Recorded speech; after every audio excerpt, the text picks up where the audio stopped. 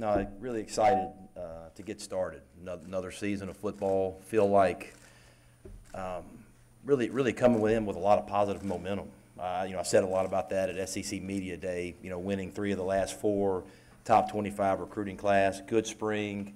The way recruiting's going right now, just a, a very, very positive vibe in, in the Manning Center and a lot of really positive momentum right now. So very, very excited about that. Uh, before we open up for questions, a couple of uh, personnel uh, um, really excited about the signing of Tariqious Tisdale. He's going to be joining us here today, so that, that was a huge get. Um, Noah Jefferson did not qualify, so felt like that was really important uh, for Tar- Tariqious to come in here at defensive line. And because of that also, we're going to keep Jalen Cunningham at D-line, starting the, uh, starting fall camp as well. So with that, I'll open it up for questions for you guys. If you have a question, raise your hand, we'll bring the microphone to you. We start up front with Chuck.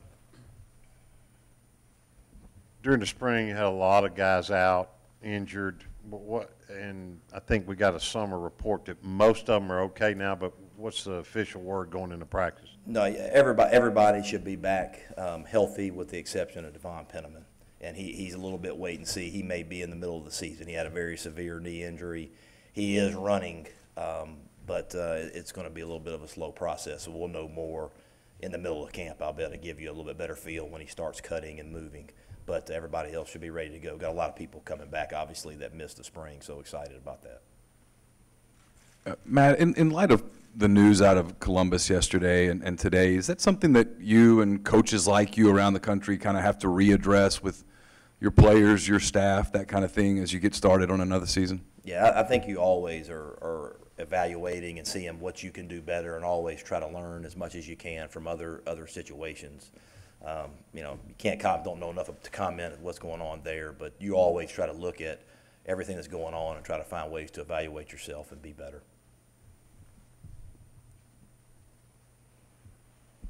Matt, the defense has obviously kind of struggled for the most of the past two years. Why, why do you think this is going to be different this year? What, what has to change? Well, you know, I think I think the biggest thing is to improve. I, you know, I'm and I, and I said it at media day that let, let's let's build on that second half of A and M where they you know they got they shut out in the second half and getting five turnovers in the Egg Bowl. Let's really build on that. I think I think continuity is huge. Being in the second year of the same system, everybody being one year better, and uh, I think you know having a uh, experienced secondary and being able to load the box some should help us. And uh, you know we just got to find a way to continue to build and get better in, in our second year.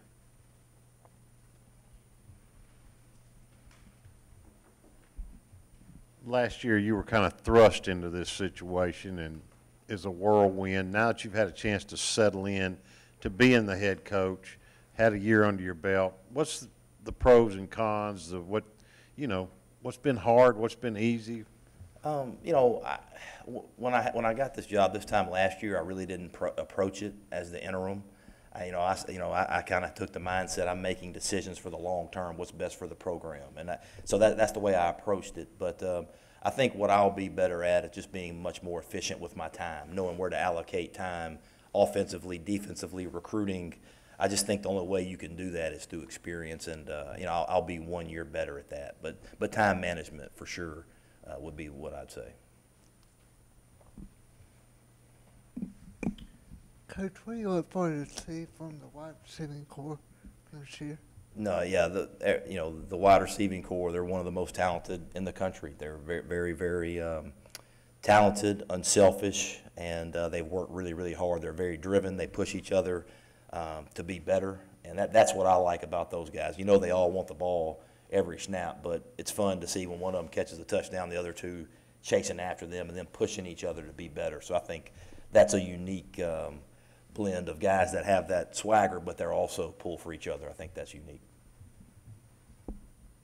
Coach, you mentioned recruiting three or four times uh, so far. Your role has obviously changed from an assistant to a head coach. How has it changed? You know what? I, I just, it just, um, same thing as with your team. You go from being really in one area to doing it all. And but but that's the part I enjoy. I enjoy the relationship part of coaching. That's to me, that's what I'm good at, and that's what I enjoy doing. And you just, you, it's just a much more broader uh, scope and getting to know more people instead of just focusing on three or four. You're more worried about the big picture. But but it's all about building relationships, and that, that's the part I like. Matt, you've been associated not only with this program, but other programs and gone through several camps, if you will. What are some keys to getting to the end of camp and feeling like, okay, we're ready for the season? You know what? I I think it's always tough because every team's different, but the, but you really want to see your team go out and compete. Uh, you know, it used to be I was just happy if the offense did good. Now I'm going to be not happy regardless of what happens. But it, it's uh, it's just you want to see your guys compete. You want to see the offense win a day, defense win a day, and you just want to see guys compete. And when you see when you see that competitive character start showing up in your team, that's when you start feeling like okay, these guys are ready to play. Matt, a big part of football is leadership, and usually you think about older guys as your leaders. You, you want to talk about some of those guys? Yeah, you know what? I'm I, I was, uh, and I'm gonna talk about defense first. Josiah Coatney really at the end of the year really came into his own as a leader. Uh, I don't know if y'all heard him speak at SEC Media Day, but just a um, very very well spoken. He's a guy. If he says something, the guys in the locker room listen. But that that whole secondary, Ken Webster. I mean, he, he's a senior. He's been around Zedrick Woods, C.J. Moore. Those, those guys are stepping up and becoming more vocal as they grow in confidence. So I so I really like that. Um, your quarterback has to be a leader, and it's good that Jordan had, you know, hi- him having success really helped him be a leader, you know, because cause guys aren't going to follow a guy that's not, not doing great, you know. So I think him having success really helped him be a leader. But we got a lot of good players up front that are leaders. Sean Rawlings is a phenomenal leader. Jordan Sims, Javon Patterson, Greg Little, Alex Givens, they all, you know, kind of take ownership.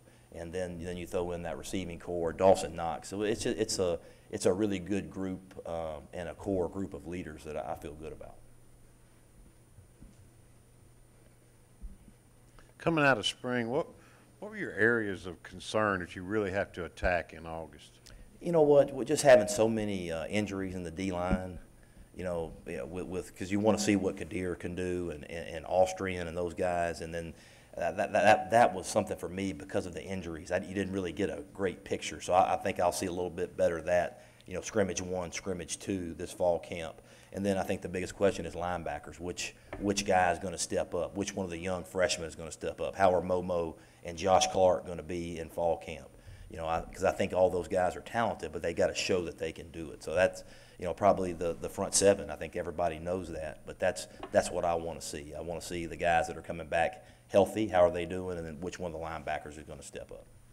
Matt, how many of the young offensive linemen do you think are ready to play and, and take on a different role? Um, the one that jumps out of my mind is, is Ben Brown. I think uh, he'll compete at right guard with Jordan Sims. He's a talented kid. Uh, Royce Newman is very, very talented. He's going to play some. Bryce Matthews can do a bunch of different things.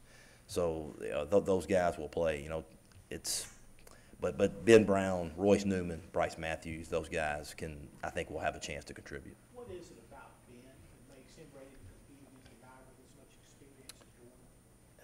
Ju- his uh, his just overall athle- athletic ability. I mean, he's a big, strong, physical guy. He's smart. He's a good athlete. Uh, he plays hard. He's just he's what when you say offensive lineman, that's what that's what he looks like. And he's gonna. I'm glad we're able to redshirt him, and he's got four years left. He's gonna have a bright future. Uh, but Jordan does have a lot of experience, and uh, he can do a lot of different things for us. He'll be playing at guard and doing some backup center stuff for us as. We'll take questions up top. Coach, uh, with the NCAA investigation finally coming to an end, how does it feel just to be able to get back to the game of football? Good. Uh, just just excited to get started, and like I said, all taking all the positive momentum at the end of last season and top 25 recruiting class, and the way things are going now. Just taking all the positive momentum and focusing on football and focusing on the guys in this locker room and trying to block out all the outside noise. I think that's the uh, that's the most exciting part about moving forward. And Coach, on that note, uh, obviously the upperclassmen didn't sign up for a two-year bowl ban at the end of their tenure. What does it mean to you for these guys to stick around and, and be leaders in this program? you know, I, you can't say enough about the guys that, that sit in this room. They, they, uh, when, when you go through a tough time, it, it does one of two things. It pushes you apart or it pulls you together. And the guys that have been through it and stuck together, they, they really, really have bonded and they, they play for each other. So we just want to continue that culture and, and take it the next step this year with it. Any more questions up top? How about down here, any more questions? Matt, obviously, you know, you're still at the tail end of it, but there is a little bit of the NCAA appeal process still going on. How do you approach that with your players? Do you allow them to get their hopes up, or do you even talk about it? I mean, with- as Well, far as I, I, you know, I think that, that they, I mean, they already know the penalty, so I think we, we, we prepare for the worst, and if something else happens, then it's a bonus. So that, that's the way that, uh, we've always approached it, is, hey, we're just gonna keep our head down and keep working, we're gonna play for each other, and then if something else happens, then it's a bonus. Matt, you guys have talked a lot about a change of culture, but what does that actually look like, and that what showed you that it had taken hold? You know what, I just, I just think that game in, game out, last season, you started to, uh, everybody's like, okay, this team's gonna quit, and they didn't.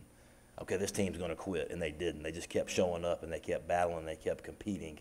That's when you started to see the culture change. Uh, go from a, you know, unselfish, blue-collar, tough football team at the end of the season, and then you just wanna take that and you wanna build on it. And you see guys pushing each other, and you, you get the feel of guys working extra and do, doing all the little things that it takes to be a special football team. It's just a feel that you get around here, and you just want to take it from where we were and just keep building on it.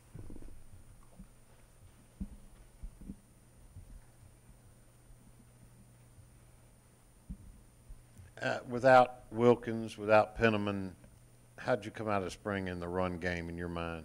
Well, I, I mean, the, the- it was kind of a, a two-headed monster for us in the Springs. We knew we had to replace Jordan Wilkins, but we also wanted to work on stopping the run. So we spent a lot of time on that in the spring. And because of that, you know, Eric Sweeney got a bunch of reps, Scotty Phillips got a bunch of reps, Isaiah Woullard, Armani Linton. So, you know, I, I was, um, I guess cautiously optimistic about that running back room, just because they still got to go out there and do it, excuse me, but they were, they showed some flashes and being really, really good. And maybe, you know, top to bottom, maybe even a little bit deeper than last year. So, you know, excited about that, but they still got to go do it. Coach, when you're trying to change the culture, blue collar mentality like you're talking about, does it kind of play in your favor being that underdog role, the, the, the forgotten man out of the group? You know what, I, I just think, um, yeah, you know, but the, the players are the ones that set the mentality, so they're, they're the ones that have to buy in. But, but I think, uh, they do take on a little bit of the persona of the coach. And I think that, that's important to, to create that, because there are no shortcuts. And everybody with social media, everybody wants things right now, but if you want to get things done, you gotta go to work. There are no shortcuts, and that, that's what you have to do if you want to be really good, is you gotta roll your sleeves up and you gotta go to work. And that's, that's really what fall camp is about. We've been doing a lot of talking with the SEC Media Day, but, but now it's time to put the pads on and go to work.